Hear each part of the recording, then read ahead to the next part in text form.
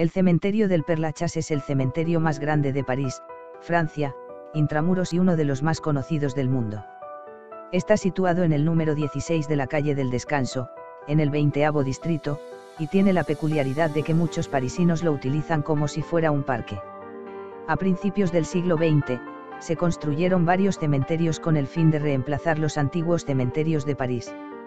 En las afueras de la capital se situaron, al norte, el cementerio de Montmartre, al este, el cementerio del Perlachas, al sur, el cementerio de Montparnasse, al oeste, el cementerio de Passy.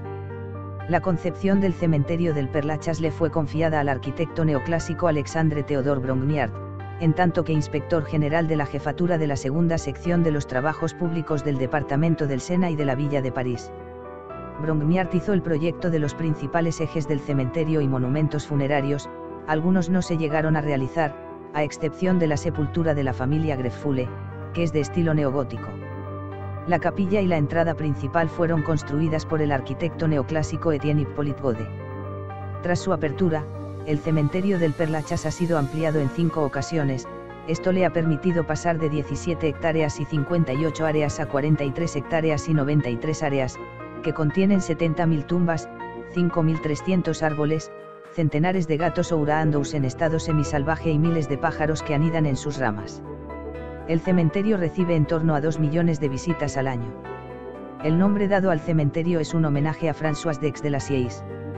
Conocido como el Perlaches, que fue confesor del rey Luis XIV de Francia y que ejerció sobre él una moderadora influencia durante la lucha contra el jansenismo.